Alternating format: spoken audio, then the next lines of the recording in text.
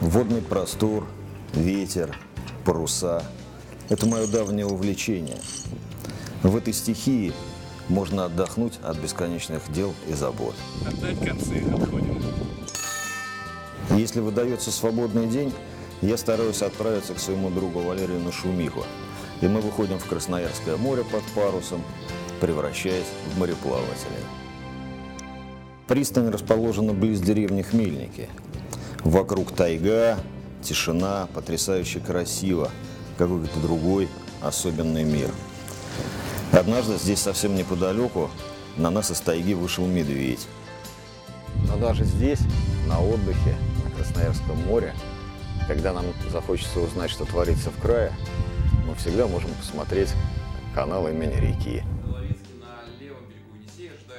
Когда становится грустно, когда устал от суеты, от духоты большого города, здесь всегда простор, здесь всегда душа отдыхает.